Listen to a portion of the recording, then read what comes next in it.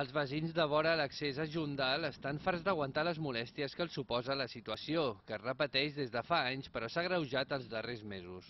Abans hi havia uns quants cotxes, però ara és insuportable. Ja, ja, ja els posen dins les entrades particulars i tot això, ja, ya no saben posarlos. Se meten en el acceso de los vecinos o en la propia puerta de la carpintería. Un familiar una mañana se va a ir a trabajar y no puede sacar el vehículo porque le habían aparcado justo detrás. Consigue sacar su vehículo, se marcha y vuelve a los 30 minutos aproximadamente y se encuentra con que en el sitio donde él tenía su vehículo le había aparcado un segundo coche. Des de l'estiu passat, AENA ha obert un aparcament pensat per a llargues estades, més econòmic que el pàrquing de devora a l'aeroport.